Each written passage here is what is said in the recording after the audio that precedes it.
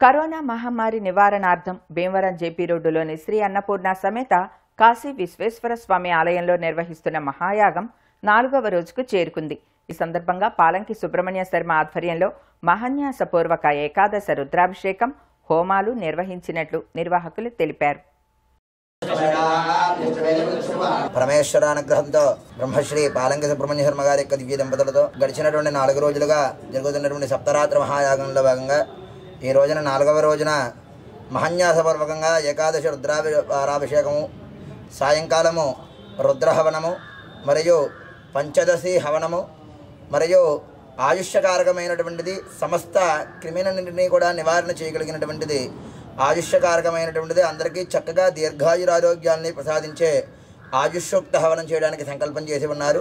రేపు తొమ్మిదవ తారీఖు రేపటి రోజున మన్యుపాశుపత అభిషేకము ఉదయం పూట. మన్యు పాశుపత హవనము సాయంకాలము మరియు రేపు సాయంత్రం వారాహి హవనము చేయడానికి సంకల్పం చేసి ఉన్నారు. గత నాలుగు రోజులుగా కూడా జరుగుతున్నటువంటి ఈ కార్యక్రమం పన్నెండవ తారీఖున మహాపూర్ణాహుతి జరుగుతుంది.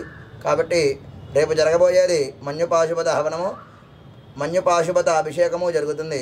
అందరూ కూడా విచ్చేసి ఆ యొక్క అన్నపూర్ణ సమేత కాశీ విశ్వేశ్వర స్వామి వారిని మరియు వారాహి అమ్మవారి యొక్క పరిపూర్ణమైనటువంటి అనుగ్రహానికి పాత్రలు కావాల్సిందిగా మనవి. గుట్టముక్కల విష్ణుమూర్తిరాజు గారి యొక్క సహాయ సహకార్యాలతో ఈ కార్యక్రమాలన్నీ కూడా జరుగుతున్నాయి.